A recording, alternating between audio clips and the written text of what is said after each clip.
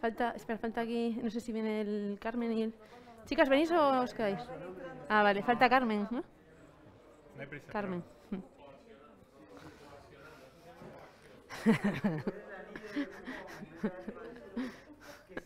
Está Carmen. Y Nieves, es que falta Nieves. Eh, esperamos dos minutos. Yo voy a acabar antes, o sea que... Vamos entonces. No, espera que falta... falta Nieves y Sí, sí, falta... no. Yo por la gente de casa también, para tal. Vale. Espera un momento. A mis primas, a mis hermanos, a mi familia. Espera un momento, ¿vale?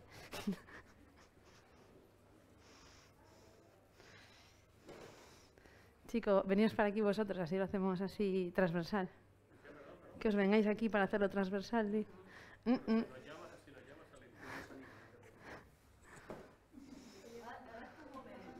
Joder. Voy a leerme esto.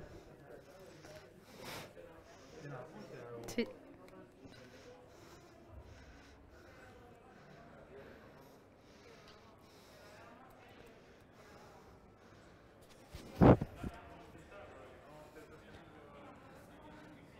Vale, Hacer una con la sesión de deporte, análisis de deporte y mar. Que nos va a hacer Amalia Garbín. Y bueno, con.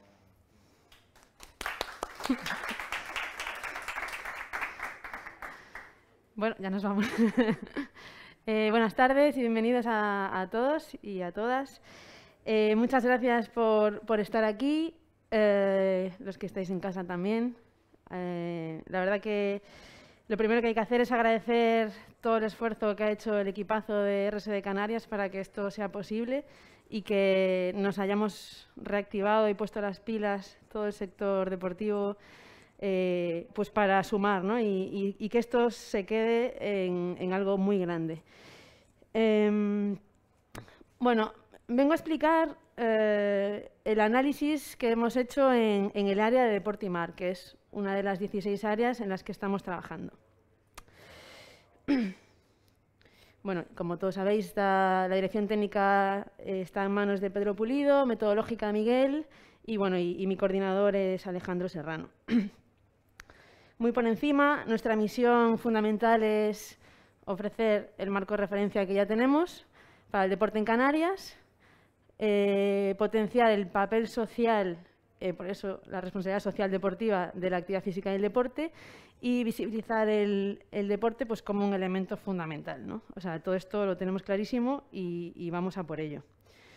Estamos, eh, hay diferentes fases en el proceso, eh, para los que no lo sepan, bueno, pues es un proceso bastante largo y ya hemos pasado la, la- la fase cero un poco interna, la fase 1 es la que hemos realizado prácticamente los analistas, pues identificando, analizando y diagnosticando eh, pues cada una de las áreas. Y ya estamos en la fase 2, que es la de reflexionar, compartir y conectar. Entonces esperamos que de aquí pues salga alguna cosita más de la que, de la que está escrita en el documento, ya que, como han dicho mis compañeros, es un documento súper dinámico y que tiene que ir evolucionando.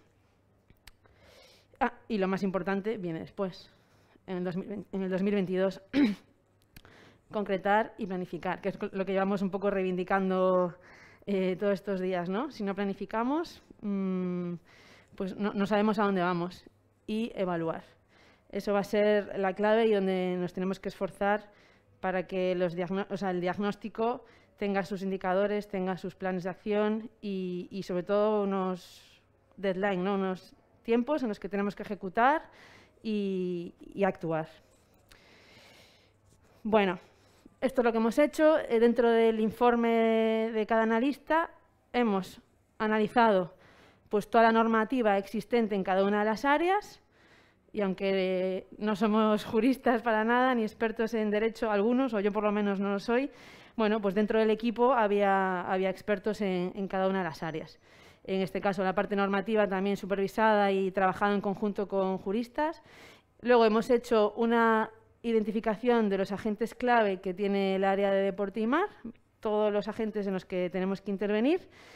Y luego hemos hecho en un encuentro con, con diferentes referentes seleccionados pues, por todo el equipo un DAFO. Hemos analizado las debilidades, las fortalezas, amenazas y oportunidades que tiene, en este caso, nuestro sector. Y, por último, hemos marcado los que creemos que son los objetivos eh, más importantes para, para nuestra área, de aquí a 10 años, a 2030 al final es esto, es generar un sistema, que es lo que queremos, ¿no? que el sistema funcione de redes inter e intrainstitucionales con nuestro sistema deportivo. Bueno, eh, ¿por qué necesitamos potenciar las funciones del deporte? Porque es un interés general, porque tenemos que hacerlo sí o sí y porque es nuestro deber y nuestra función y nuestra responsabilidad. La ley 1 2019 nos lo dice. Eh, bueno, y al final eh, la responsabilidad social deportiva es esto, ¿no? Necesitamos eh, generar estas funciones sociales, culturales, educativas, económicas, salud. Todo esto lo tenemos en nuestro, en nuestro deporte. Entonces, lo único que tenemos que hacer es coordinarnos, eh, basarnos en, este, en esta ley y, potenciar, ¿no? potenciar este papel social. Vamos a sumergirnos un poquito ya en el área de deporte y mar y vamos a, ver qué deportes y actividades deportivas tenemos dentro del deporte y mar. lo hemos dividido en dos, eh, subacuáticos y acuáticos. Dentro de los subacuáticos tenemos el buceo deportivo o el submarinismo, que se practica con botella, la pesca submarina, que es la pesca también llamada de autoconsumo, que se realiza en apnea, eh, la apnea propiamente dicho, el snorkel, otras modalidades como el subwing que, que existe también, la orientación submarina, fotosub, fotografía submarina, pues todo lo que se hace por debajo del agua. Y luego la parte acuática, todo lo que hacemos por encima del agua, pues desde la vela con el aparejo fijo, eh, vela ligera, vela latina, crucero, vela oceánica. Pasamos al aparejo libre, que es el windsurf, el kitesurf, el windsurf foil, todo el windfoil, todo esto que ya está evolucionando al foil y que ya es el presente, el surf, body, piragüismo, kayak de mar, kayak polo, remo, stand-up paddle, natación aguas abiertas, esto es importante, no es natación en piscinas, natación aguas abiertas, tenemos una piscina natural aquí en Canarias que se llama Océano,